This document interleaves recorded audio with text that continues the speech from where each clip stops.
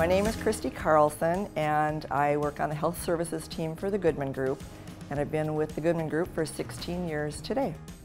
So if you are speaking with the Director of Nursing at an assisted living building, I would recommend that you do that in person whenever possible to find out if they're really engaged with you, how interested they are in the care needs of your family member. I would ask how that care is delivered. How does the staff know what my mom or dad need every day? Can you show me what they're going to be looking at to see that?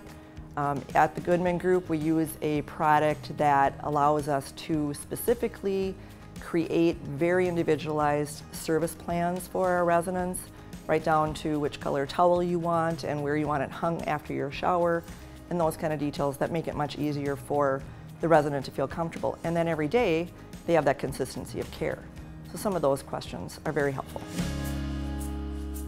For more information or to find a community close to where you live, please visit us at thegoodmangroup.com.